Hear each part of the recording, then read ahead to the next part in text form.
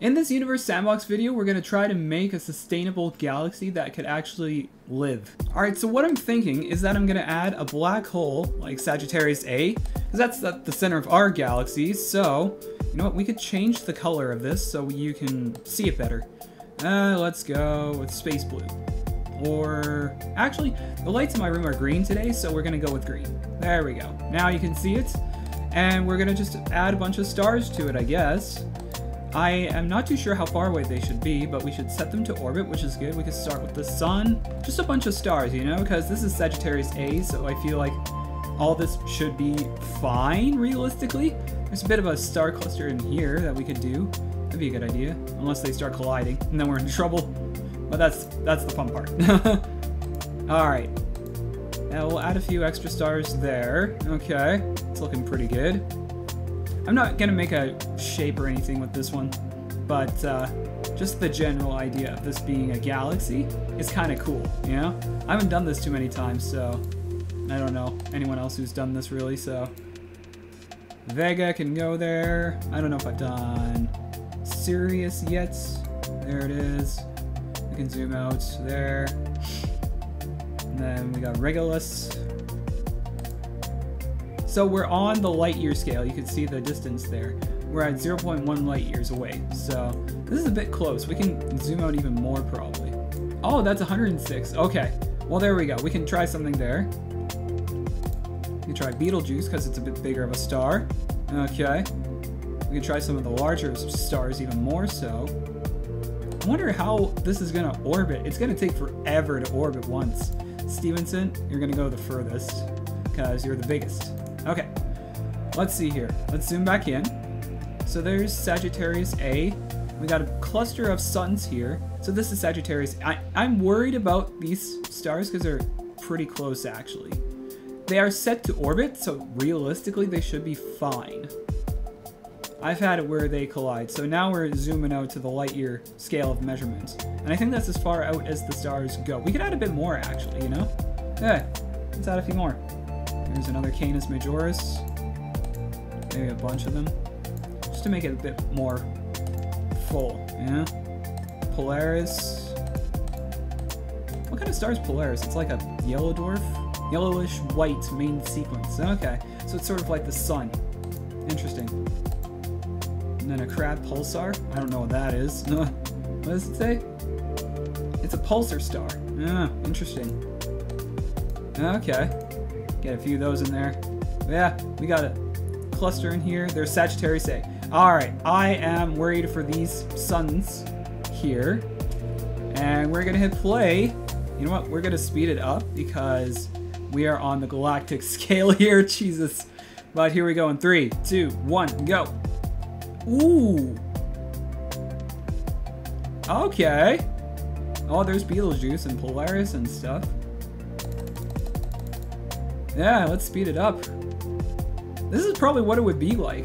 Especially at the center, because I know there are like some stars that are pretty close to Sagittarius A, just like whizzing right around it, you know? I've seen some examples of that. It's actually going pretty smoothly. We could probably add more. Polaris. Now that it's actually going, awesome. I wasn't expecting that. I was expecting another supernova. But yeah, there's Regulus. Oh, there we go. Okay, I was looking for these guys. As these guys are pretty far. Yeah. I don't even think they're... Mm. Ah! Oh, they are moving. They're going. Slowly but truly. It's just so far away from the black hole. Well, like, if we zoom into the black hole, there are a bunch more stars that are going a bit better, you know? Like this one. Yeah we got like a bit of a galaxy here, yeah? It's actually working. Especially these inner ones. I was actually really worried that they were like gonna be too close. So that is pretty cool. Whoa. I cannot, these two, I'm gonna move this one out a little bit. Just so it's not on the same path as Rigel. Okay, that should be a bit better. Look at that. Maybe we could get rid of the trails. Yeah, Look at those suns just whizzing around. That's going so fast. And we slow time down, and it's like even slower out here as we go further out. That is crazy. Let's speed it up even more. As fast as we can. To the point where the game's like, nah. oh, they're going. Whoa! Okay, they're whizzing. We are zooming through time. These ones are going, though. Damn. No supernovas yet. These ones haven't moved an inch. Do we go any faster? Any faster? I just want to be able to see these ones move. Even at that speed. Wow. I think it is going. It's hard to tell. Ooh, that is bright as hell. This is our galaxy, though. It's no Milky Way, but it's custom. okay.